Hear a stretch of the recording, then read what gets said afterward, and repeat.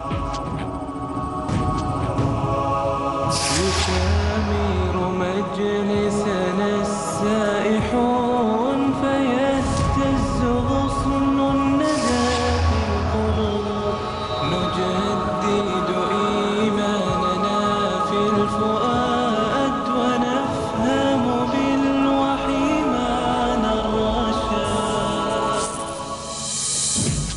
الدكتور عبد الله السبيعي ضيف برنامج لقاء الجمعة مع عبد الله نديف السلام عليكم ورحمة الله وبركاته. حياكم الله في إطلالة جديدة من برنامجكم لقاء الجمعة الذي يشرف بأعينكم على قناتي خليجية والرسالة ويتهادى إلى أسماعكم عبر أثير روتانا إف إم. في هذه الحلقة نفتح ملف واقع الطب النفسي في السعودية.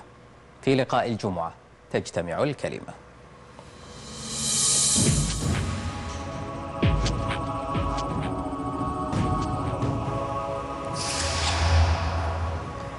حياكم الله. باسمكم مرحب بضيفي الدكتور عبد الله السبيعي حياك الله يا دكتور. أهلا وسهلا. حياك الله عبد الله. آه، أريد أنه يعني إحنا نتكلم بصراحة أكثر معك عن آه، تخصصك. طبعا أنت آه، بروفيسور واستشاري في الطب النفسي. مستوى قبل أن أتحدث عن الطب النفسي أنا أريد أن أتحدث عن الصحة النفسية. كيف تقيم الصحة النفسية لدى السعوديين اليوم؟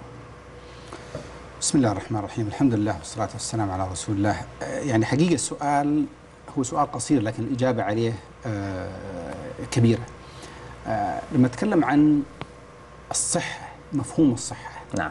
هي تتكون من ثلاث محاور حسب ما عرفتها منظمة الصحة العالمية. هي الصحة النفسية والصحة الجسمية والصحة الاجتماعية. مم. فعندما نتحدث عن صحة الفرد السعودي فأنت تتكلم إذا تتكلم عن مستواها. نعم. فأنت تتكلم عن أداء وزارة الصحة وأداء وزارة التربية والتعليم وأداء وزارة العمل وأداء وزارة الشؤون الاجتماعية بل وأداء كل ال- الوزارات لأن هي كلها معنية هذه الوزارات أنواع برفاهية الصحة الإنسان و- وأنواع صحة ال- ال- نعم. طيب إحنا لو جينا نتكلم عن الصحة النفسية في في في جزء واحد. ال- الصحة النفسية حقيقة عندها مشاكل. آه، من من مشاكل الصحة النفسية إنه عدة مستويات. على مستوى الفرد الكثير من الناس يجهل ماهية الطب النفسي مم. ماهية المشكلات النفسية. ولعلي أضرب لك مثال بأحد طلاب الجامعة اللي قابلني جاني في العيادة وقال لي يا دكتور عبد الله سمعت إن واحد يستأنس إنه مريض؟ يفرح أنه مريض؟ يفرح إنه مريض. أيوة. قلت له والله لا أنا أعرف إن الواحد اذا عرف إنه مريض يزعل. صحيح. قال أنا كان عندي مشكلة وما كنت أعرف إن هذه مرض ممكن علاجه وكنت خلاص أقول هذا قدري يعني. إيه. فلما آه، سمعت لك وقرأت وبحثت في الموضوع عرفت إن هذه حالة مرضية ممكن علاجها فرحت. فالشاهد حقيقة إنه آه، ضعف مستوى الوعي بالمشكلات النفسية مم. آه، يجعل المشكلة تكبر وتتفاقم لأنه ما نستطيع إحنا إحنا. نجهل بأمراضنا النفسية ومشكلات نفسيه وبالتالي لا نستطيع التعامل معها. نعم. هذا جانب. الجانب الآخر أنا أعتقد أنه نحن الأطباء النفسيين أو نحن آه، المختصين النفسيين أطباء علم نفس اجتماع نحن أيضا يقع علينا آه، شيء من ال- العتب ومسؤولية التقصير في أنه إلى الآن ما وصلنا للدرجة اللي فعلا نوصل أنفسنا فيها أو نوصل التخصص إلى أذهان الناس. آه، ال- الجانب الآخر اللي هو ال- ال- ال- مستوى الأداء ال- الخدمات أحيانا يكون يصد عن محاولة العلاج يعني إنسان مثلا يلاحظ أنه عنده مشكلة نفسية فلا يوفق بالذهاب إلى شخص آه، جيد ولا ممارسته جيدة فبالتالي آه، يجعل عنده انطباع سيء عن طيب إذا قارنا أنفسنا مستوى بالعالم يعني آه، كيف وضعنا إحنا من ناحية كأمراض وكطب نفسي بالنسبة للعالم؟ هل إحنا متقدمين متخلفين في الوسط؟ اولا خليني أقول لك كم- يعني أو أعطي فكرة عن نسب انتشار المشكلات النفسية على مستوى العالم. طيب، وأعتقد. إن إحنا نحن جزء من هذا العالم نعم. يعني آه حوالي 20% من مراجعي عيادات الرعاية الأولية يعني خذ أي طبيب في أي مستشفى مراجعين الرعاية الأولية 20% منهم مشكلته في الأصل هي مشكلة نفسية. إما لوحدها مشكلة نفسية أو جزء من مشكلتها من مشكلة، ال- نعم. الدراسات منظمة الصحة العالمية اللي أقيمت على عدد من من دول العالم وحنا الآن عندنا بحث جاري سينتهي إن شاء الله في نهاية عام 2013 أنا المشرف عليه مع بعض ال- ال- الزملاء تبع منظمة الصحة تبع العالمية الصحة العالمية أي. وتشرف عليه وزارة الصحة وجامعة الملك سعود و وش تبي تسوون في- في نبحث عن نسب انتشار الأمراض النفسية بين عامة الناس في ال- يعني بحث ميداني مهم. هذه الدراسات تقول إنه 10% من أفراد أي شعب على وجه المعمورة في أي وقت عندهم مشاكل نفسية، طبعا ما أقول أمراض نفسية عشان ما نفهم غلط، لأنه في فرق بين المرض وش الفرق بينهم؟ والعرض. المرض هو هو الذي تكتمل عناصره بأنه هذا هو المرض الفلاني. لكن إنسان يكون عنده شيء من القلق لكن ربما ما وصل إلى درجة مرض نفسي، إنسان وصل عنده شيء من ال- الكآبة لكن ما وصل إلى درجة الاكتئاب، إنسان عنده شيء من المخاوف لكن ما وصلت لدرجة الرهاب، هذه كلها مشاكل ممكن تكون في طريقها إلى المرض النفسي ولذلك مهم التعرف عليها ل- لعملية الوقاية من المرض النفسي قبل أن يعني الأعراض. أحيانا ما تكون مرض تكون هذه تس- تسمى مشاكل نفسية لكن أيوة. لما تتطور وتكون أي، لما تكتمل العناصر المرض تكون مرض نقول نفسي. عليها مرض نعم. تقول أيضا الدراسات إنه واحد من آه، أسرة من كل أربع أسر عندهم شخص عنده آه، مشكلة نفسية آه، ما. شخص من كل أربع أسر. يعني كل أسرة من أربع أسر عندها شخص آه. عنده مشكلة نفسية. نعم. الإشكالية حقيقة في أنه عشان أوري بس أنه المرض النفسي حاجة ما هي سهلة أنه لك أن تتخيل مثلا أنه شخص في أسرة معينة عنده سكر. كم فرد من أفراد الأسرة يمكن أن يتضرر بكونه عنده سكر. ما في أحد. ما في. هو الوحيد اللي بيتضرر. نعم. طيب لما يكون هذا الأب ولا هذا الأم عنده اكتئاب ما يجلس مع الأسرة ما يقدر يشتغل آه نفسيته شينة يدخل في خلافات معهم كم واحد حيتضرر؟ آه، ممكن الأسرة كلها. كل الأسرة تتضرر. مم. نعم. ولذلك عندما يعالج هذا الشخص يعني المرض النفسي مش معدي ولكنه مؤثر. أثره متعدي. مم. نعم. ولذلك عندما يعالج هذا الشخص فأنت تعالج أفراد الأسرة قلت أم, أم, أم, أم يعني صغرت أم كبرت يعني المرض النفسي مرض غير معدي ولكنه متعدي. ولكنه متعدي أثره متعدي. نعم, نعم. آه في أيضا دراسة آه أقامتها منظمة الصحة العالمية وشافت وش أكثر الأمراض تاثيرا على الإنسان. وش أكثر الأمراض التي تسبب العجز والإعاقة؟ طبعا الاعاقه بمفهومها العام وليس بمفهومها إيه. الجسماني سواء فقط. نفسي ولا غير نفسي؟ نفسي أو غير نفسي. إيش الأول؟ وجدت إنه العشر أمراض ال- الأكثر سببا للإعاقة والعجز خمسة أمراض منها نفسية. وأنا أوريك هذه الشريحة. 50% آه 50% خ- يعني 50% بالضبط. هذه الشريحة إذا كان ممكن آه، قربوا الكاميرا أيوة. عليها. فخمس أمراض من من العشرة. من العشر امراض الاكثر سببا للعجز والإعاقة نعم. هي أمراض نفسية. ال- الأول اللي هو الإيدز. أول واحد الإيدز أي. يأتي بعد ثاني مباشرة الاكتئاب. نعم. مم. ثم تأ- تأتي بعدها حوادث الطرق. بعدين الدرن بعدين إدمان الكحول بعدين إيذاء الذات وفقر الدم الفصام الاضطراب الوجداني. وثنائي القطب. والعنف. نعم. طيب الآن خمس أمراض لكن خذ العنف. العنف ألا يمكن أن يكون أيضا جزء منه المرض النفسي؟ بلى. إذا المرض النفسي أيضا جزء منه. حوادث الطرق ألا يمكن أن يكون أيضا جزء من المرض النفسي؟ إما واحد يقود في حالة سكر ولا في حالة زعل ولا في حالة كذا. إذا حقيقة يمكن خمسة اللي مؤكدة لكن سبعة عليها آه. يعني على علامة استفهام طيب أشهر الأمراض النفسية اللي عندنا هنا وتؤثر على المجتمع بشكل مباشر إيش هي في السعودية؟ هي هي بنفس نسب انتشار الأمراض النفسية حتى في دول على مستوى العالم. الآخر نعم طبعا أتكلم الآن من واقع انطباع الدراسة الميدانية إلى الآن ما خلصت ما. انتهت لا نعم. من واقع انطباعك. لكن أكثر الأمراض اللي إحنا نشوفها حقيقة في العيادات النفسية وفي المستشفيات أكثر حالات هي حالات اللي نسميها الحالات غير الدهانية اللي هي الاكتئاب، القلق، الوسواس، آه، آه، آه، الرهاب اللي هو المخاوف غير المبررة. إيش إيش الأسباب ال- اللي في مجتمعنا تقف خلف مثل هذه الأمراض؟ ليش ترتفع مثلا عندنا هذه الأمراض في في تكوينة مجتمعنا؟ أنا لا أعتقد إنها ترتفع عندنا. في العالم إيه، إحنا أنا متساويين نعم أعتقد إن هذه آه، يعني في كل أنحاء العالم لأن هذه آه، يعني أمراض يعني أنا أنا شائعة. كنت أتساءل إنه هل طبيعتنا السعودية ترفع أو تخفف من أمراض معينة على مستوى العالم؟ أنا لا أعتقد إنه في شيء ممكن أن يقول ب- بهذه النقطة اللهم إلا في حاجة واحدة أنا أنا لمستها من واقع تجربة نعم. أنا كنت في فترة التدريب طبعا هذا كلام قبل حوالي 25 سنة لما كنت في كندا شفت في حالات الرهاب الاجتماعي يمكن خلال أربع سنوات ونص اللي قضيتها هناك يمكن شفت ثلاث أربع حالات. في كندا؟ في كندا. طيب. في السعودية في ثلاث ساعات أشوف ثلاث أربع حالات. ليش؟ ليش؟ طبعا ما عندنا دراسات في الموضوع هذا لكن في تقديري إنه إحنا مجتمعنا حقيقة مجتمع آه، يقوم على الفصل ما بين الكبار والصغار. يعني آه، احتكاك الأطفال بالكبار قليل جدا. ولذلك إنه يتعلم المهارات الاجتماعية آه، فرصته أقل. مم. آه، إذا جلس في المجلس الصغار أفسحوا المجال للكبار. قوموا لا تضحك لا تتكلم لا تقول كذا. طبعا هذا جانب تربوي. الجانب الآخر مجتمعنا يقوم كثير على الانطباعية وعلى النقد.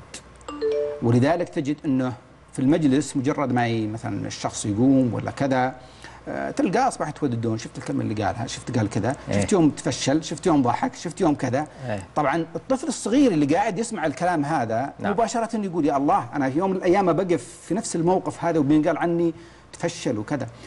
كثير من القوانين الاجتماعية آه، يعني عندنا كثير من القوانين الاجتماعية غير مكتوبة. ولذلك الواحد يعني يلبس بطريقة معينة ويجلس بطريقة معينة ويتحدث بطريقة معينة وكأنه كل شيء يقول له يجب أن تجيد ما يتوقع منك أن أن تقوله وأن تفعله وإن كنت لست مقتنع فيه لكن بينك وبين نفسك اعمل ما تشاء وقل ما تشاء آه يعني أفهم منك إنه آه، إحنا على مستوى العالم نسير بنفس الرقم إلا يمكن الرهاب الرهاب الاجتماعي أنا أعتقد إنه أعلى بسبب. التكوين الاجتماعي نعم. عندنا. طيب آه، قضية ال- المرجعية آه، اللي فرويد مثلا في علم النفس وقضية مرجعيتنا الإسلامية ودراستكم اللي أنت درستها مثلا في كندا إيش تشوف إنه آه، أنتم عندكم يعني سويتوا فلتر في هذا الموضوع؟ تشوف لا إنه هو وضع أسس ولا تتعارض أو لا؟ يعني أنا ودي تشرح لي هذه المعادلة لأنه كثير يسأل عن أساس علم الطب النفسي إنه نعم. منسوب لفرويد وتعرف إنه عنده نظريات كثيرة تتعارض مع الشريعة. لا هو الطب علم الطب النفسي ما هو منسوب لفرويد. يعني فرويد ما هو إلا أحد الناس اللي تحدثوا في الطب النفسي وهو آه، مؤسس المدرسة التحليلية. المدرسة التحليلية هي جزء يسير جدا الآن من ممارسات علم النفس والطب النفسي. هناك مدارس سلوكية هناك مدارس معرفية هناك المدرسة الدوائية هناك يعني مدارس كثيرة. فاختزال الطب النفسي إلى أنه يتكلم بنظريات فرويد اللي هي تتكلم عن الجنس أعتقد أنه هذا آه، يعني في تسطيح. في تسطيح وفي اختزال مخل مم. إما مقصود من من بعض الناس أنه يريد أن يحجم أو أو يصد الناس عن الطب النفسي أو غير مقصود لجهل بعض الناس بانه لا الطب النفسي حقيقة لما أتكلم عن الطب فهو طب قائم على ال- ال- العلم التجريبي أنه الأسلوب ال- ال- الفلاني يفيد المرض الفلاني وتثبت بالتجربة التي لا تقبل نسبة يسيرة من الخطأ بأنه فعلا فعال سواء كان دواء أو يعني بالص... آه، علاجي. بالصح والخطأ يعني آه، يعني تستطيع أن تقول بهذا الشكل طيب ال- الخطاب الديني نحن مجتمع متدين وكثير من ال- ال- المعادلات عندنا مربوطة بشكل مباشر أو غير مباشر. بعنصر الدين أنت كيف تشوف أثر الخطاب التدين على الصحة النفسية آم، أنا أعتقد أنه ال- الخطاب الديني لما أقارنه الآن بمثلا قبل 20 سنة ما في شك أنه في توجه لصالح الصحة النفسية ولا أقول لصالح الطب النفسي لصالح الصحة النفسية. وش الفرق بين آه، الفرق أنه أصبح هناك من العلماء آه، آه، المعتبرين من هيئة كبار العلماء مثال الشيخ عبد الله المنيع الشيخ عبد الله المطلق آه، وعدد من المشايخ. عندهم وعي بالواقع عندهم إدراك بالواقع. مم.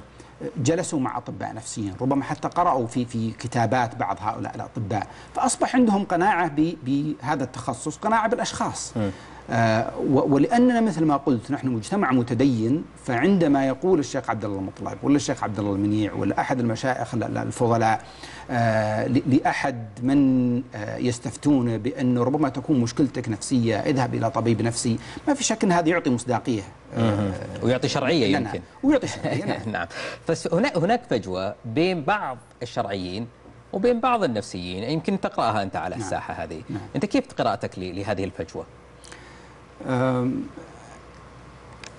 أعتقد أن الفجوة هذه في جزء منها صراع مصالح. صراع مصالح. صراع مصالح نعم. شلون؟ آه، بمعنى أنه آه، كلا الفريقين يدعي ال- ال- العلم. مم. فالطبيب النفسي ربما آه، يدعي بأنه هو أعرف بتخصصه وأعرف بكذا وهو جاهل الحقيقة ربما بجوانب اللي خارج ال- ال- التخصص. والمتخصص في الشرع أو عالم الشرع أو كذا آه، أيضا هو عالم بتخصصه لكنه جاهل بال- بالطب النفسي. فأحيانا عندما الإنسان يصل إلى درجة من العلم في تخصصه قد يقع في مأزق أنه هو أصبح يعرف كل شيء. ولذلك تجد أنه بعض المتخصصين سواء من الشرعيين أو حتى من التخصصات الأخرى مجرد ما أنه حصل على مثلا حرف الدال ولا حصل على منصب معين وتصدر مثلا منبر إعلامي معين أصبح يفتي في كل شيء. يتكلم في الاقتصاد ويتكلم في الطب ويتكلم في الشرع ويتكلم في كل شيء. و- وأيضا يعني يكون معه نظرة دونية للآخر آه، في تخصصه نعم. نعم صحيح. قضية التدين طيب آه، أثر التدين على الصحة النفسية بشكل عام؟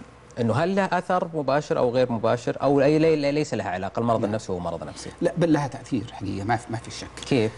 أم، الإيمان بالقضاء والقدر الإيمان بالله الإيمان ب يعني بمفهومه العام يجعل الإنسان يتكيف مع ضغوط الحياة ومع مشكلات الحياة بشكل أفضل. وهذا يقيه من المعاناة النفسية. لكن عندما نقارن المرض النفسي بالمعاناة النفسية المرض النفسي غير. لما تتكلم عن اكتئاب مثلا تتكلم عن فصام تتكلم عن وسواس تتكلم عن هذه فيها فيها جانب إحيائي كثير جانب كيميائي كثير. يعني ثابت مثلا في حالات الاكتئاب في حالات الوسواس في حالات الفصام إن هناك سيالات كيميائية معينة تختل. يعني اضطراب كيميائي في المخ يخلي آه، في المخ إي نعم. لكن لما أتكلم عن التدين. ما قبل الأمراض النفسية يعني الشعور مثلا بالضيق لفوات شيء من من أمور الدنيا، الشعور بال بالخوف ل آه، مثلا شيء مستقبلي سيحدث، الشعور بالقلق، الشعور بمثلا آه، عدم القدرة على النوم إلى آخره من من ال- المشكلات هذه، فما في شك إنه ال- الإيمان وكلما زاد مستوى الإيمان كلما قلت هذه آه، يعني المشكلات. ال- ال- وهذه المشكلات أسف إني نعم. وهذه المشكلات آه، أحيانا هي تكون سبب حتى من أسباب الأمراض النفسية، الأمراض النفسية لا يمكن اختزالها أيضا عشان أستدرك على نفسي إنه لا يمكن استدراك يعني عدد من الأمراض النفسية. اختزالها انه إنه هي فقط كيميائيات. آه. يعني هي نرجع للكلام اللي قلته أنت في أول حلقة أن عندنا مشاكل نفسية وعندنا أمراض نفسية أمراض نفسية. فالتدين يؤثر على المشاكل النفسية يؤثر على المشاكل النفسية لكن المرض النفسي لا مرض نعم. يعني. إحنا عندنا باب في الطب النفسي باب كبير يندرج تحته كثير من الاضطرابات النفسية اسمه اضطرابات التكيف. اضطرابات التكيف اضطرابات التكيف اضطرابات التكيف هذه الجانب الإيماني يفيد فيها كثيرا آه واضطرابات التكيف هذه قد تصل في درجة من درجات أن ينتقل إلى فعلا أن يكون عنده مرض نفسي. آه. يعني اذا اذا إذا إذا ما قدر يتكيف على ذا ممكن تحول إلى إي، مرض. بالضبط، نعم. طيب الأمراض النفسية هذه ممكن تورث؟ يعني ال- الخلل اللي بالدماغ ذا نعم. ممكن ي... جدا نعم. اي ممكن يتورث. طيب الآن عندنا دائما يتحدثون الفقر والبطالة والانتحار إلى آخره. عندنا أيضا يعني عندنا خلينا نقول مجتمعين مجتمع ف- فيه فقر مجتمع فيه بطالة عنده مشاكل من هالنوع ماديه وفي عندنا مجتمع آخر ترف وغنى فاحش و إحنا نشوف إنه الأمراض النفسية موجودة هنا وموجودة هنا لكن أنتم بح- بحكم خبرتك وممارستك أنت تشوف أيهم أيهم أكثر أو أيهم بيئة أكثر نشاطا فيها الأمراض النفسية والمشاكل النفسية؟ والله يا أخي السؤال هذا صعب لكن خليني أقول لك آه، يعني دراسة ذكرها لي حقيقة أنا ما اطلعت عليها لكن ذكرها لي البروفيسور شيخ إدريس وهو أستاذ الطب النفسي بجامعة الدمام. ذكر لي أنه في دراسة أقيمت ل- لمسح أو التعرف على مستوى الأمراض النفسية في قرية من قرى السودان. ثم بعد عدة سنوات أنا ما أتذكر الرقم بالضبط أعيدت نفس الدراسة على نفس القرية. وجد إنه نسبة أو أو ال- يعني آم، القرية هذه أصبح عندهم آه، طرق معبدة، أصبح عندهم كهرباء، أصبح عندهم خدمات، لكن الإحساس بالفقر زاد. لأنه الإنسان إذا ما استطاع أن يواكب الناس اللي حواليه ممكن أن تبدأ عنده المعاناة النفسية، فالفقير لما أنت تقول تقارن مجتمعات فقيرة مع مجتمعات غنية، الفقير بين الفقراء ما عنده مشكلة ترى. آه. يعني هو مت... هو متوافق مع بيئته. والغني بين الأغنياء هو متوافق مع بيئته. لكن خذ المدينة زي مثلا مدينة الرياض. أيوه. فيها الفقراء وفيها الأغنياء هنا تكون معاناة الفقراء يعني كبيرة. ليش كبير؟ يعني اشرح لي خليني أفهم أكثر. كبيرة لأنه يشعر بالفقر. يشعر بالحرمان. يعني الفقير في مدينة الرياض يشعر, يشعر بالحرمان بال- أكثر من من يشعر بالحقد على الأغنياء. وهذه طبيعة النفس البشرية. زي الناس حب الشهوات. ويبغى يكون عنده بيت زين يبغى يكون عنده سيارة يبغى يكون عنده آه، فلوس يبغى يعرف يسافر. لما يشوف إنه في نهاية العام الدراسي كل الطلاب مثلا بالنسبة للطلاب اللي حواليه يتكلمون والله بنسافر السنة هذه نروح المكان الفلاني وكذا هو بيقعد في الرياض حارسها لين يرجعون؟ يعني وش تتوقع إنه يعني؟ أكيد يعني بيتأثر نفسيا. قد لا يصل إلى درجة المرض النفسي لكن هو مشروع مريض نفسي. آه. آه. وبالتالي طيب الآن الفقراء وال... أنت من من من خبرتك اللي يجونك أكثر ال- الأمور في العيادة ال- الاغنياء ولا ولا الفقراء؟ أنا حقيقه ما أستطيع أني يعني آه، أجيب إجابة علمية على هذا السؤال لأنه ربما الاغنياء آه، عندهم المادة والقدرة. أنهم يسافرون برا يعالجون برا عشان ما حد يدري عنهم فأنا ما يجيني غير الفقراء طيب أنا أنا الان أسألك عن قضية الخجل من المرض النفسي لكن آه، بعد فاصل قصير.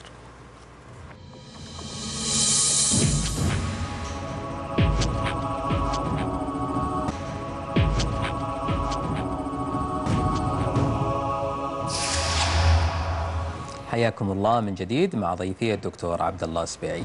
كنت سألتك آه، قبل الفاصل عن آه، موضوع الخجل يعني كنا تحت الهواء يمكن نتكلم عن موضوع إنه في طبقة معينة إنه ت- تطلب يعني أطباء من خارج البلد يأتون لها لأنه ما يستطيع إنه يذهب إلى مكان أو مصحة نفسية لأنه يعتبر إنه مرض النفسي يعني أشبه بحالة من حالات الجنون. هو هو ما هو فقط إنه ما يبغى يذهب إلى مصحة هو حتى ما يبغى طبيب سعودي يعرف يجي ويعرف عن حالته فيقول لا أنا أجيب أحد من برا. آه بفلوسي يعالج ولدي ولا بنتي ويطلع ويروح ما أحد درى ولا أحد كذا طبعا من حقه بلا شك طيب ليش إحنا ما نستحي من السكر والضغط؟ أنا أقول إني أنا فيني مرض سكر أو فيني مرض ضغط وأستحي أقول مثلا فيني رهاب ولا فيني اكتئاب ولا. ترى هذه عبد الله ما هي مشكلة مجتمعنا بس. آه. يعني حتى في المجتمعات ال- ال- المتقدمة موجود. آه في ربط دائما ما بين المرض النفسي والضعف. إنه هذه نوع من النقص نوع من العيب نوع من آه، الضعف نوع من إذا أخذنا الأمراض الذهنية نوع من الجنون. فما أحد وده يوصم بها طيب. الوصمة هذه تس- تسمح لي أسأل شوية أسئلة يعني آه، يعني أكثر تتساءل الناس كثير من الناس يتكلم عن الاطباء النفسيين انه الطبيب النفسي غير مستقر نفسيا يعني انه الطبيب النفسي بشكل أو بآخر آم، طبعا أنا ما أتحدث عن حضرتك لكن أتكلم بشكل عام نعم. الط- الأطباء النفسيين غير مستقرين نفسيا إما لأنهم أس أساسا يعا يعني يعيشون آه، مرضى نفسيين على طول اليوم فهذه قد تؤثر عليهم أم أنهم هم يستخدمون بعض الأشياء الغريبة التي يست- يستنكرها المجتمع وبالتالي يصفون الطبيب النفسي بأنه شخصية غير مستقرة. أنا طبعا لو أجبتك على السؤال فأنا بكأني يعني آه، أوافقك على هالفرضية هذه. آه، لكن خلني يعني أجيبك بشكل غير مباشر. أنا كنت ساكن أول أول هل هي موجودة ولا لا؟ يمكن آه، هذه النظرة. لا لا أنا ما أظنها موجودة. حقيقة. آه لكن إحنا العين علينا. عارف لما تدخل مكان معين أيوه. فأنت مباشرة تبي تفتح عينك على الناس الموجودين فيه. لو قل لك فلان مريض فلان فيه كذا تبي تفتح العين عليه. أنا مرة كنت ساكن في السكن الجامعي. وكان في مسافة ملعب كورة ما بين مواقف السيارات وما بين المستشفى. وكان يمشي أمامي أحد الزملاء ساكن معنا في السكن نعم. هو ما هو طبيب نفسي هو تخصص باطنة أحد إحدى تخصصات الباطنة وتخصص دقيق. وكان يمشي قدامي ويهز يده كذا ويتكلم يعني أنا أسمع روحه. صوته وأشوف يده. إيه. أنا قلت في نفسي لو أنا عملت كذا وشافني واحد من ورا قال هذا له اطباء نفسيين ف, ف أنا أظن حقيقة ال- الفكرة هذه يعني فكرة غير غير صحيحة. أو ربما إنه يعني تعرف الأطباء النفسيين هم نسيج من نسيج المجتمع هم بشر. يعتريهم ما يعتري الناس من أمراض نفسية وعضوية. فإذا كان أحد منهم مثلا عنده مشكلة معينة وعممت أو أحد منهم عنده سلوكيات معينة وعممت أعتقد إن هذا فيه في خلل يعني منهجي خلل فكري. طيب هو يمكن هالصورة الإعلام يمكن يمكن رسم. بلا شك. لكن مؤخرا الإعلام هل هو يعني يمارس نوع من التوعية بالتخصصات النفسية أو يمارس نوع من التشويه سواء في على مجال الدراما أو على على مجال البرامج؟ أظن على مستوى الدراما لا. آه، يعني النظرة يمكن لا زال فيها يعني محاولة إظهار الطبيب النفسي بأنه شعره منكوش وكلامه يعني إيه. غير مترابط وكذا. لكن على مستوى البرامج آه، يعني أنا- كان لي برامج تلفزيونية وكثير من الزملاء لهم برامج ولنا ظهور في, في الإعلام. آه، أشعر أنه هناك تعطش للسماع من ما يقوله الطبيب النفسي ونجلس في المجالس والمكان اللي نجلس فيه نشعر انه الناس ودهم انه إحنا نتكلم أي. ويسمعون. آه، ف ف أظن على مستوى البرامج لا. يعني فيه محاولة لنشر ال- الوعي. هل هو عاد ال- المجهود هذا يجير لنا ولا يجير لكم الإعلاميين؟ هذا شيء آخر. إحنا على مركب واحد إن شاء الله. قضية الكفاءات يعني على مستوى السعودية هل الأخصائي والطبيب النفسي إلى آخره الكفاءات البشرية بحجم الحاجة الموجودة في السعودية؟ آه، ابدا هي ليست بحجم ال- ال- الحاجة لكن ما اعرفه حقيقة إن وزارة الصحة خلال يعني آه، السنوات الخمس أو ال- ال- السبع الماضية خطت خطوات كبيرة باتجاه محاولة آم، سد الفجوة ما بين الحاجة و, و آم، يعني استخدام آه، أطباء ولا لا؟ آه، تعليم بكل الأشكال سواء كان إفتتاح مستشفيات إيجاد أسرة آه، توظيف أطباء من الخارج أو متخصصين من الخارج تعليم وتوظيف ال- ال- ال- الخريجين الج- الجامعات السعودية فهناك محاولات. لكن آه، لا تزال الفجوه موجوده أنا اضرب لك مثال حقيقي بآخر الإحصائيات اللي هي إحصائيات عام 1433 العام الماضي. عدد الأطباء الاستشاريين في وزارة الصحة على مستوى المملكة 73 طبيب استشاري. بس. فقط. على مستوى السعودية على 73 مستوى السعودية نعم. منهم 38 سعودي ومنهم 35 غير سعودي. السعوديين كم؟ خمسة- 38 يعني الحين إحنا في السعودية ما عندنا إلا 38 استشاري نفسي بس؟ أنا أتكلم عن وزارة الصحة. طبعا إحنا عندنا النظام الصحي عندنا في السعودية مقسم إلى وزارة الصحة وزارة الدفاع وزارة الداخلية آه، الجامعات يعني المستشفيات العسكرية ودولي ما هي بتبع الحسبة آه، هذه لا ما هي تبع الحسبة هذه آه. لا غير تبع في الحسبة هذه طيب. آه والأخصائيين اللي هم درجة أقل من, من الاستشاري. من الاستشاري اللي. معهم دبلوم ومعهم ماجستير 225 منهم 55 سعودي و170 غير سعودي طبعا لو جمعتهم كلهم مع بعض يجي حوالي 300 وشوي آه هي أقل بكثير من هو المفروض الكم النسبة. لكل مئة ألف أو كم لكل ال- المفروض الرقم العالمي المفروض إنه من 500 إلى 2000 إذا إحنا بنقول الحد الادنى 500 الحد أقصى. 2000 طيب إحنا في السعودية على هالأرقام دي كم نطلع؟ اي 300 وشوية إذا بنتكلم عن الاستشاريين وكذا، طبعا في إحصائيات وزارة الصحة وضعوا طبعا أنا شلتها لكن وضعوا آه، الأطباء المقيمين اللي هم تحت التدريب وكذا، لكن حقيقة لا يمكن احتسابهم بأنهم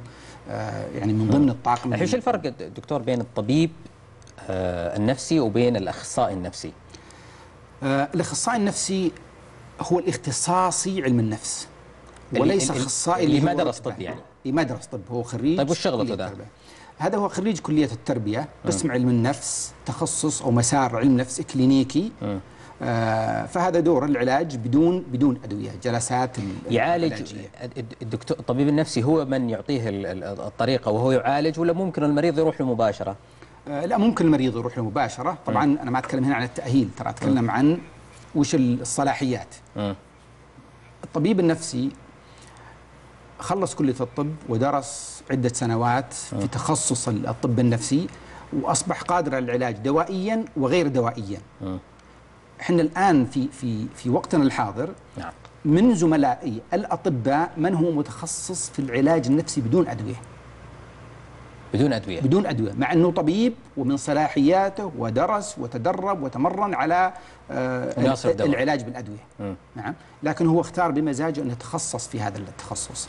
زملائنا علم النفس هم متخصصين أو أو درسوا بهذا الاتجاه. يعني الأدوية وتشخيص الأمراض ما يدخلون فيه لكن يدخلون في عملية القياسات النفسية اختبارات الذكاء اختبارات الشخصية آه و والعلاج السلوكي والعلاج والعلاج, المعرفي والى آخره نعم. طيب ما دامك تكلمت عن موضوع الدواء يعني هناك كلام على أنه خطورة الدواء النفسي وأنه هذا يسبب الإدمان وأنه انتبه يعني حتى من بعض الوصايا إذا رحت لطبيب نفسي اسمع اللي عنده بس انت بتاخذ الدواء إنه نعم. بل إنه في أخطر من ذلك يعني معاذ خطيب كتب قال إنه في فيلم وثائقي اسمه تسويق الجنون يتكلم عن الطب النفسي وفظائع صناعة الأدوية المخصصة للعلاج النفسي التي يزعم أنها تعالج الاضطرابات النفسية والمؤامرة الكبرى التي تحيكها وترتكبها شركات الأدوية العالمية بالتحالف مع الطب النفسي على الأبرياء والبسطاء والسذج والمخدوعين، يعني هذا يتكلم عن مؤامرة عالمية ل نعم. لتسويق ال- الأدوية وإدمان الناس عليها وفي النهاية ما هم محتاجين لهذا الكلام. نعم. تتفق مع الفكرة هذه ولا والله تختلف؟ شوف هذا هذا كلام عن فيلم آه. حقيقة والفيلم ليس مرجعية ل- لأي كلام علمي هو فيلم وثائقي طبعا. بغض النظر آه. فيلم وثائقي أنا ممكن أسوي فيلم وثائقي وأطلع عبد الله مديفر أحسن الناس وممكن أسوي العكس صحيح. يعني أنا أختار ما ما وجد وأتكلم نعم. عنه فنتكلم عن المرجعية العلمية، المرجعية العلمية حقيقة إنه لا يتم إنزال دواء. للاستخدام إلا بعد ما يكون صرف عليه ملايين الدولارات ولا الريالات لإثبات فاعليته بشكل لا يدع مجال للشك، يعني تخيل إنه مستوى الشك يجب أن لا يتجاوز 5%. مم. و- وثبتت أيضا ف- آه، إنه ما له تأثيرات جانبية أو على الأقل عرفت التاثيرات الجانبية بإنه ما هي خطيرة وكذا. ومع ذلك هناك الأبحاث المستمرة على طول على التطوير. آه، اللي على التطوير وعلى الاكتشاف. وأضرب لك مثال مثلا. الأسبوع اللي فات كان آه، استشارتني إحدى ال- الأخوات باستشارة مكتوبة ان تأخذ الدواء الفلاني آه، هل يضر على الحمل ولا لا؟ فقلت لها كتبت لها على ورقة إنه آه، يوقف الثلاث أشهر الأولى. بعد الثلاث شهور بامكان أن تعيد لاستخدامه. في نفس الوقت معي الجوال حقي متصل فيه بأحدث آم، يعني مجلات متخصصة. وصلني منهم رسالة بأنه الدواء هذا تحديدا إنه حتى ثبت عليه مؤخرا إنه ممكن يكون له أضرار وهو طبعا ما هو دواء نفسي هو يستخدم للاعصاب بس إحنا نستخدم أيضا في الطب النفسي لضبط المزاج. إنه ممكن يسبب أضرار على ال- الجنين. مم. مباشرة طلبت الاستقبال قلت رجعوا لي الملف اللي, اللي أرسلت لكم إياه. غيرت التوصية حقتي مباشرة. ف- فهناك علم وهناك أبحاث مستمرة لا طيب الحل الحل ولا الحاله الإدمانية دكتور قضية إنه إنه هذه تسبب نكسات. يعني هي إذا دخل فيها خلاص صار أسير لها حتى الممات والله يا أخي إذا بنطبق المنطق هذا ف, ف مريض السكر هو أسير لدواء حتى الممات، مريض الضغط أسير لدواء حتى الممات، مريض هذه هذه الأمراض ال- ال- ال- الأمراض المزمنة. نعم. إذا نحن نتحدث عن خلط بين الإزمان والإدمان. الأمراض المزمنة في أمراض عضوية وحتى الأمراض النفسية فيها أمراض مزمنة. يعني لازم يستمر على العلاج آه، على طول نعم مثل؟ لحل أو أو ل- لتعويض نقص معين. مم. يعني الاكتئاب مثلا من الأمراض الشائعة، في من اكتئاب حاد ممكن يعالج لفترة وينتهي العلاج، أه. وفي اكتئاب مزمن يحتاج أنه يستمر على العلاج عشان يكون بأحسن حالاته لطول عمره. أه. فهذه ليس عيبا في الدواء وإنما عيب في أو الخلل في المشكلة ال- الصحية نفسها. الإدمان بمصطلحه العلمي وبمعناها العلمي هو أن تشتاق للدواء. آه. يعني مثل ما تشتاق للدخان الله يعيدنا وياك خرمان يعني. خرمه ولا القهوة ولا نعم. الشاي ولا كذا أو أنك تستخدم الدواء بجرعة معينة ثم بعدين الجرعة هذه ما عاد تكفي تضطر لزيادة الجرعة وتزيد وتزيد أيضا إلى ما لا نهايه، هذا الإدمان وهذا حقيقة يمكن يحصل يمكن أن يحصل في بعض الأدوية النفسية يمكن حوالي أربع أدوية عندنا، من بين وطبعا الأدوية هذه بالمناسبة ما تصرف إلا بوصفة مقيدة وعليها تقييد من وزارة الصحة إنه ما يصرف أكثر من علبتين. آه، وعليها متابعة من وزارة الصحة والداخلية وكذا بينما بقية الأدوية النفسية اللي ظهرت عليها السمعة السيئة وال- والمقولة هذه هي لا تسبب الادمان ابدا. طيب آه، في آه، قضية الأسرة يعني هنا من مجمع الأمل للصحة النفسية بالرياض يقولون إنه في مرضى خلف أبواب المستشفيات النفسية لعشر سنوات وذووهم يغيرون عناوينهم تهربا من استلامهم.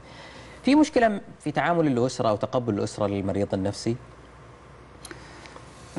لا أعتقد إنه المش... المسألة مسألة تقبل لكن المسألة مسألة قدرة أحيانا.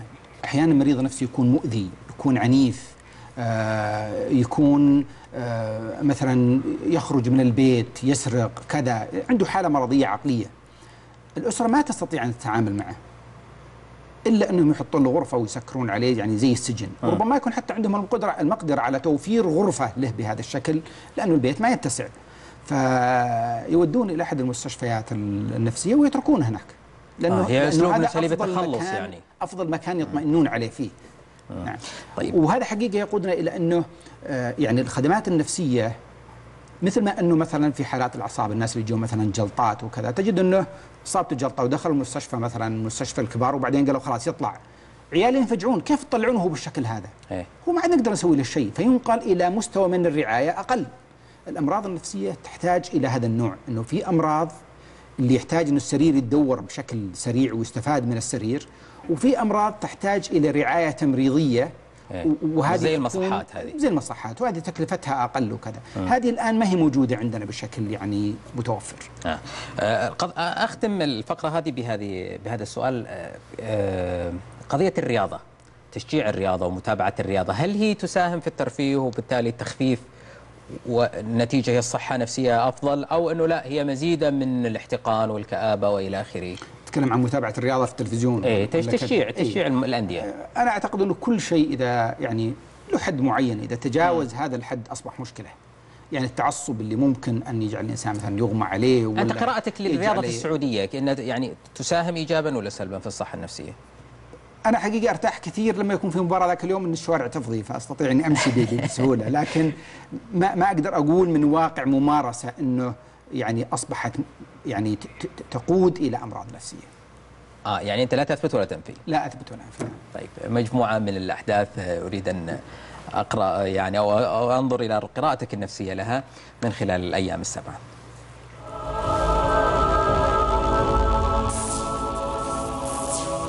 الأيام السبعة.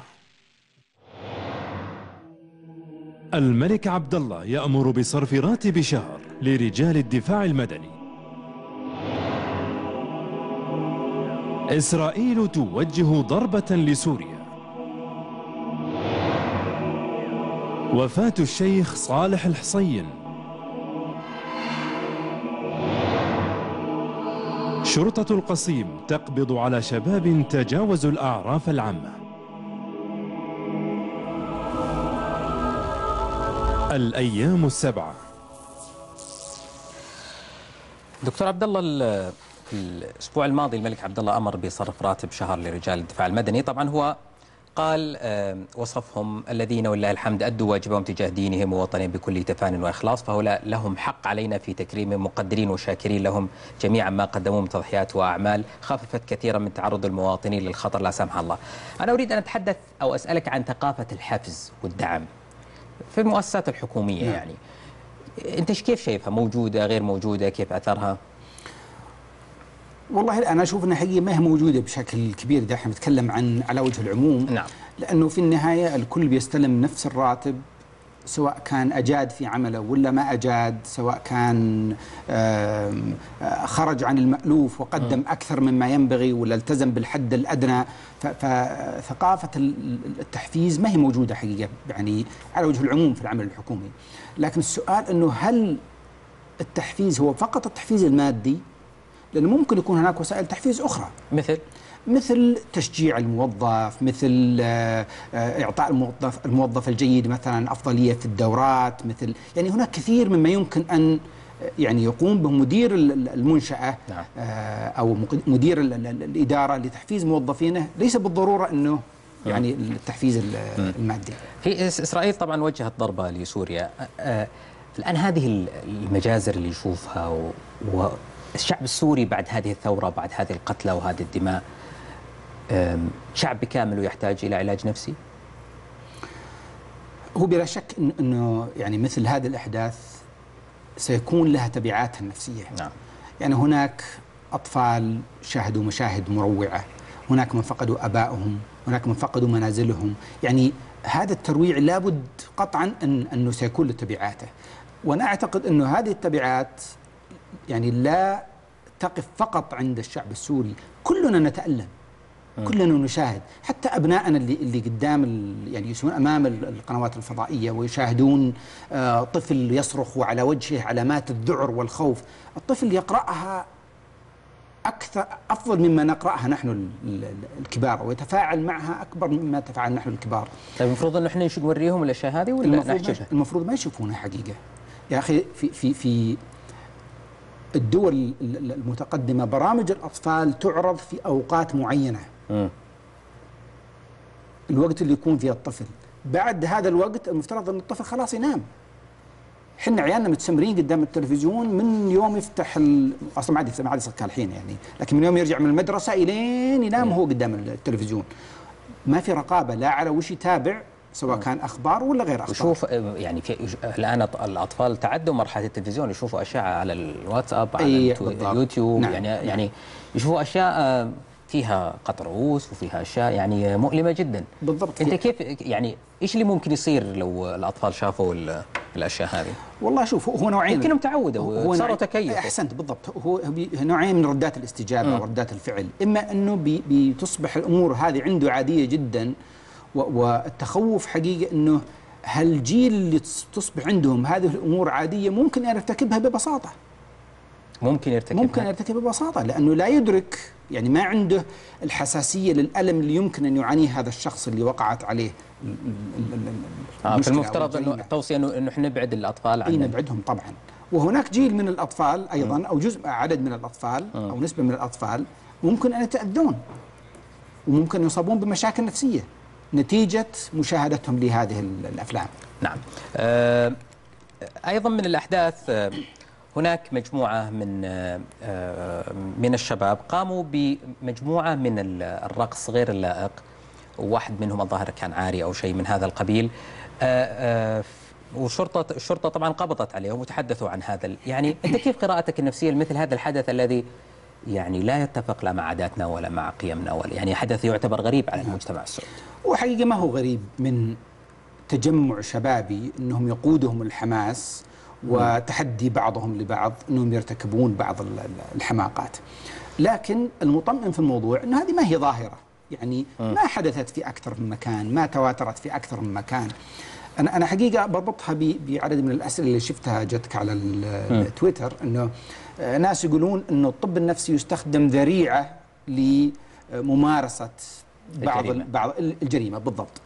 آه، فهؤلاء الشباب أنا لا أقول إنهم مرضى نفسيين لكن أقول إنه كل حالة تقيم على حدة. لكن في نفس الوقت لا أستغرب ابدا حدوث مثل هذه الأشياء مثل ما يحدث بع- بعض بعد المباريات ينزلون في الشارع وممكن يعني تحصل بعض حوادث العنف وكذا. مم. أريد أن أستعرض معك مجموعة من الأسئلة التي سألها الشارع الشارع يسأل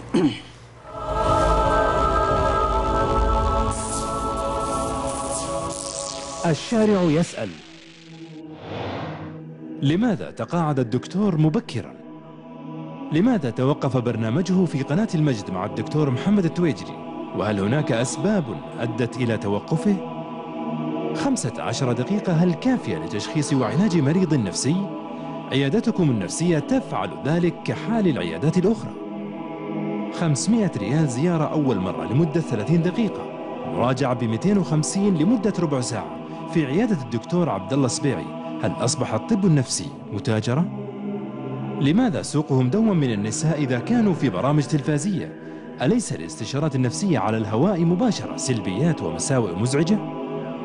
يأتون بالمريض إلى قارئ فيقول فيه مس من الجن ويأتون به إلى طبيب نفسي فيقول فيه مرض نفسي ألا يمكن وضع حد لهذا العبث بالمرضى؟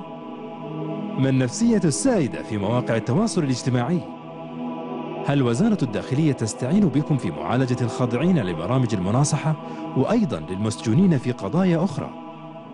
هل هي مصادفة أن تكون سمات الالتزام الديني ظاهرة على أكثرية الأطباء النفسيين بالرغم من تصادم علم النفس مع كثير من معتقدات الدين؟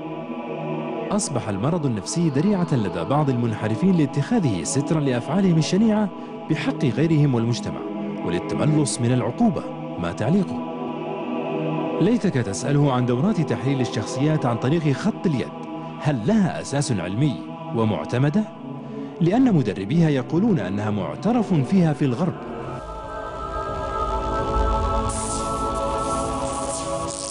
الشارع يسأل. حياكم الله في الجزء الثالث والأخير مع ضيفي الدكتور عبد الله السبيعي دكتور أنت تقاعدت؟ أنا تقاعدت نعم. يعني بدري. تقاعدت مبكرا. وين ستكمل المسيرة؟ والله عندي بعض ال- المشاريع عندي مشروع البحث العلمي هذا اللي ذكرت لك منظمة. الوطني نعم أيوة. أنا لا زلت فيه وسأستمر فيه إن شاء الله في الكتابة فيه والنشر آه، وعندي بعض الأعمال الخاصة بالإضافة إلى. يعني التواجد مع الأسرة والعودة إلى المجتمع مرة ثانية آه، اخترت ك- كأفضل طبيب نفسي في السعودية عام 2002 آه، مين الجهة اللي حددت هذه الجائزة؟ نعم. آه، هي ما هي جائزة حقيقة؟ هم آه، ينظرون إلى نشاط آه، جهة معينة تنظر إلى نشاط يسمونه هوز هو هم مختصين ب- بأنهم يبحثون عن نشاط المتخصصين في في تخصصات معينة. آه، وبدون حقيقة أي مقابل يعني سواء كان للشخص يعني لا يعطون جوائز ولا شيء. آه، وبناء عليها يحددون أنه هذا هو أفضل طبيب ولا أشهر واحد طيب. هنا كان هنا عندك برنامج آه، في ثنائية مع الدكتور تويجري على قناة المجد وبعدين توقف. نعم.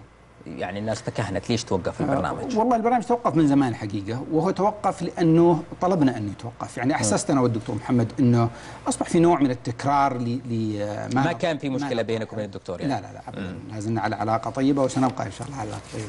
طيب أيضا من ما دام نتكلم عن ال ال- البرامج الاستشارات في في سؤالين. اولا إنه الاستشارات النفسية هذه اللي تكون على الهواء هل ممكن باتصال تليفون إن أنت تحدد الحالة يعني أنتم معاشر النفسيين عندما تتحدثون عن أحيانا بعشر ثواني وأحيانا بنص دقيقة تحدد تتكلم عن الحالة كأنك عايش معها سنة سنتين ثلاث يعني بوضوح تام هل الاستشارة الهاتفية بهذا المقطع كافية؟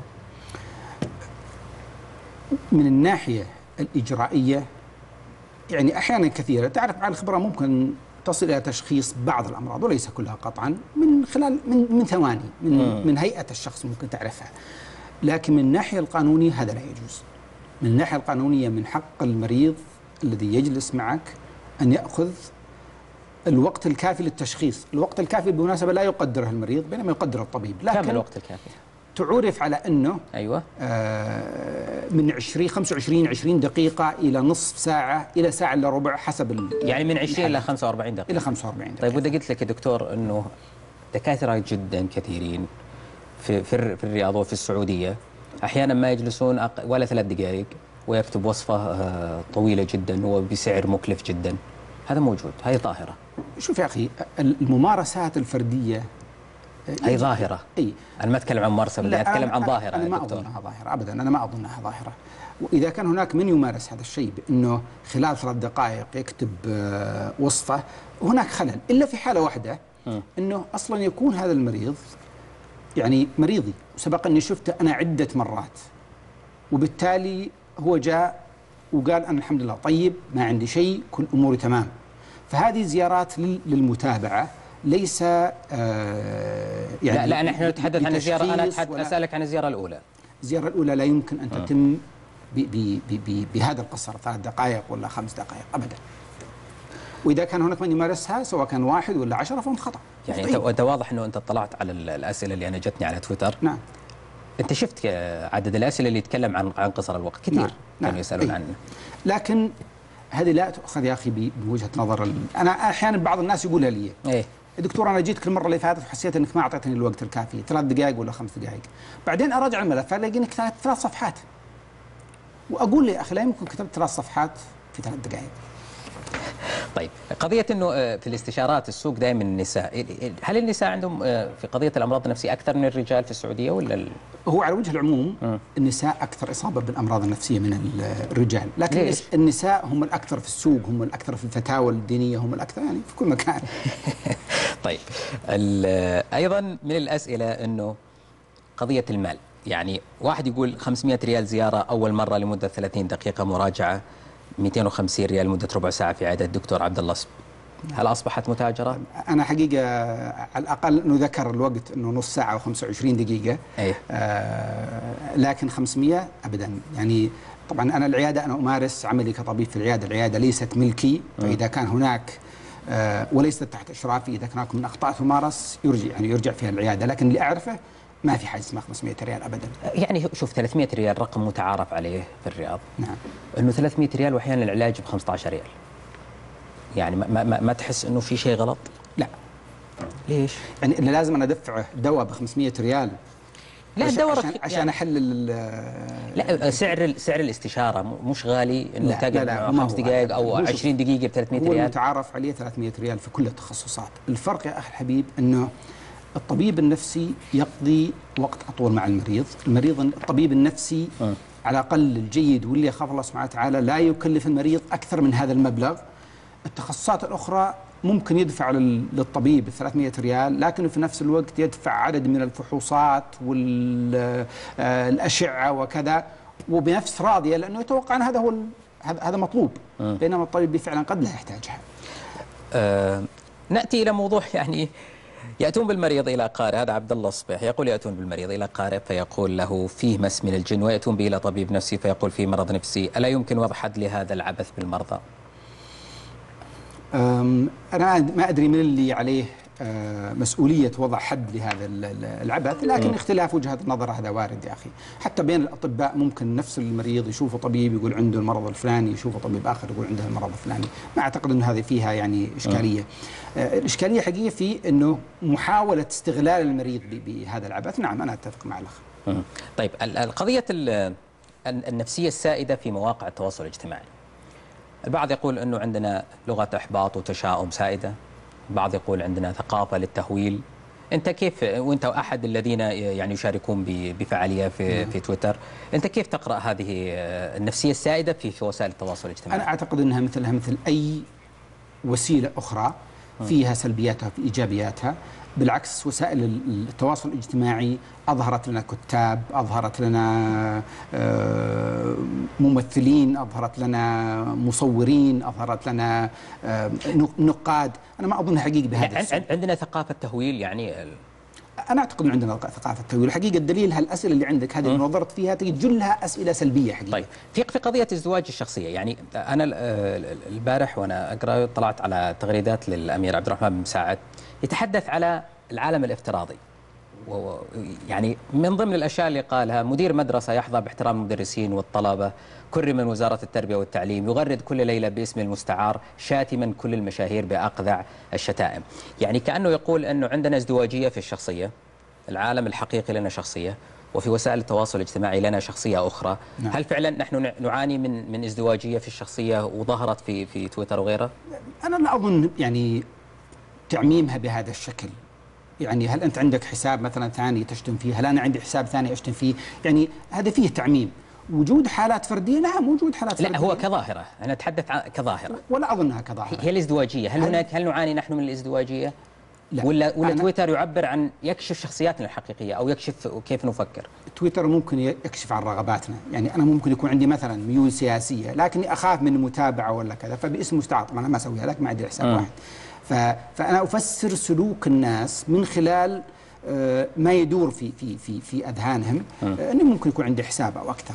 لكن مثل هذا ال- الشخص هذا اللي يكون عنده حساب يشتم يشتم فيه ويسب وعنده حساب آخر يظهر فيه بصورة طيبة أنا اعتقد هذا استثناء في تقديري. يعني يعني لا, نعاني من ازدواجيه الشخصية يعني. لا أظني لا بالشكل اللي يعني آه، اللي تفضل فيه الأمير. آه، قضية ال ال الآن ال ال هل يستعينون فيكم في لج- لجان المناصحة؟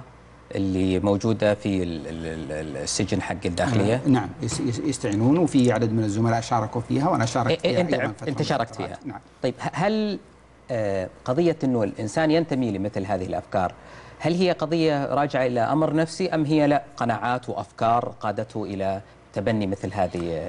لا هي- في الغالب إنها قناعات وأفكار قادته إلى إلى مثل آه. ما- ما قام به من أعمال. لكن هي محاولة من وزارة الداخلية بأنه آه، يأتي من رجال الدين ومن رجال الفكر ومن رجال الطب وعلم النفس محاولة لإصلاح هذا ال- الفكر. أنا حقيقة تجربتي حقيقة آه، هي تجربة فردية. كان معي أحد المشايخ اللي ما شاء الله تبارك الله كان إيه. يعني قوي جدا. وجدت أني أنا معه ما أقدر أقول شيء. يعني هو كان يتحدث في سيطر الداعية على الطبيب بعلم. النفس. بكل شيء. فوجدت نفسي أنا مستمع. مستمع فآثرت أني أنسحب طيب يعني يعني يستأثروا بالخطاب الديني وما ما استطعت إنه تتحدث؟ والله لا أنا ما أقول انه مستاثر فيه حقيقة. لكن كان يتكلم كلام جميل جدا. وجدت أنا ما ما في داعي إني أنا أكرر ما, ما يقوله آه وال- والشخص اللي الأشخاص اللي أنا شفتهم ما كان عندهم جانب مرضي ممكن أنا أدخل فيه فكان ال- ال- المنطق والكلام العقلاني هو اللي ممكن يصل لهم لا أنا أنا أقصد دكتور هل. هل الطبيعة النفسية التي موجودة عند كل شخص من سماته الشخصية تؤثر على طبيعة الأفكار التي يختارها؟ إيه بلا شك بلا شك طبعا هناك استعدادات مم. عند الإنسان هي تجعل إنه يتجه بهذا الاتجاه أو أو اتجاه الآخر. وربما أن يحصل للإنسان معين آه، حادثة معينة تغير مسار حياته. آه. شكرا لك دكتور عبد الله الشكر موصول لكم أنتم. وانقلوا عن الدكتور عبد الله السبيعي أنه يقول أبعدوا أطفالكم عن مقاطع العنف. السلام عليكم.